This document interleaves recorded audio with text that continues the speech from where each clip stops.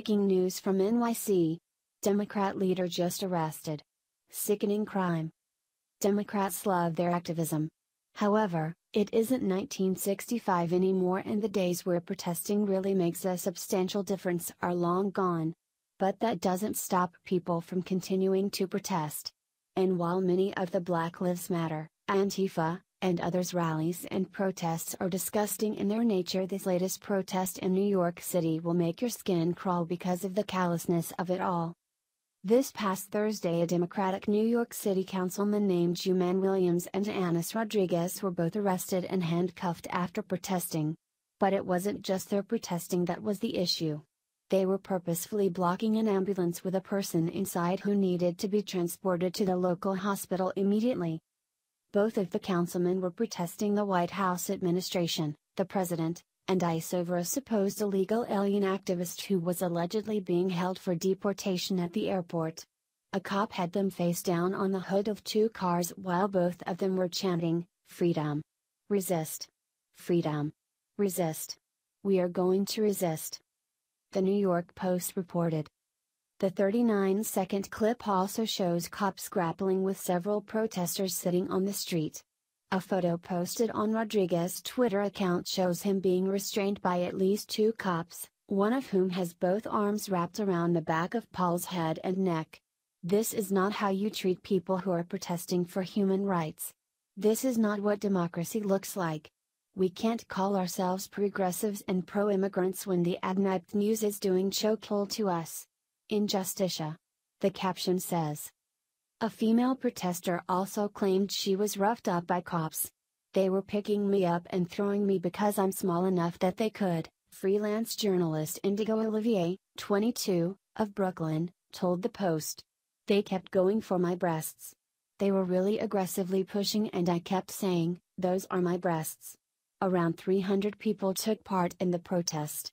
The NYPD said 10 men and 8 women were taken into custody but didn't immediately respond to a request for comment on the claims regarding its officers' conduct.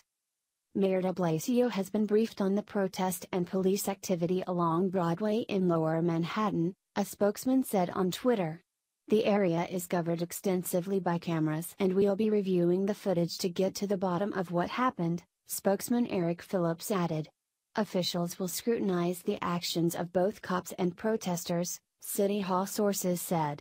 A NYPD union leader called on de Blasio to start an investigation on these council members that actively went in front of an ambulance with its emergency lights on taking a patient to the hospital.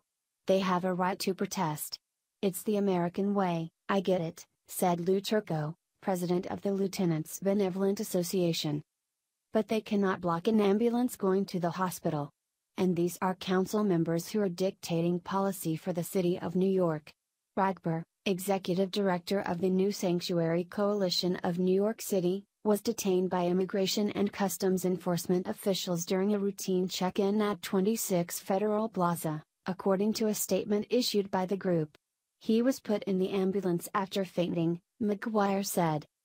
All those arrested were taken to the 7th Precinct headquarters, where the Reverend Raymond Blanchette emerged and told fellow activists that Williams was going to be released with a desk appearance ticket but Rodriguez is being booked on charges of disorderly conduct, resisting arrest and obstruction of government administration, and will be held pending arraignment, Blanchette said. An immigrant from Trinidad, Ragbir was ordered deported in 2006 following his conviction for wire fraud and conspiracy, but has remained in the U.S. by challenging that ruling. Lawyers with the Immigrant Rights Clinic of Washington Square Legal Services filed a suit on his behalf Thursday against U.S. Attorney Jeff Sessions and other government officials, claiming Ragbir has a stay of removal that's valid through January 19. A longtime New Yorker, a husband and a father, Ravi is beloved by all of us who have had the privilege of working with him to make New York a welcoming community for all of its residents, said the Reverend Kaji Dousa, co-chair of the New Sanctuary Coalition. The fact that ICE has taken him as if his spirit, family ties, and contributions to the community mean nothing is inhumane. ICE didn't immediately respond to a request for comment. This is the face of the modern Democratic Party. They preach tolerance and acceptance, love and hope. Yet they go out and they physically and verbally assassinate anyone and everyone who disagrees with them and gets in their way. It is very hypocritical behavior and the height of irony itself. How can one promote tolerance, love, and open mindedness, and point to the Republican Party as callous yet sit there and block an ambulance carrying someone in critical need of hospital services? Perhaps for some the ends justify the means. But in reality they have become the very thing they hate, despise, and preach against in this political atmosphere. Share if you agree. If you agree,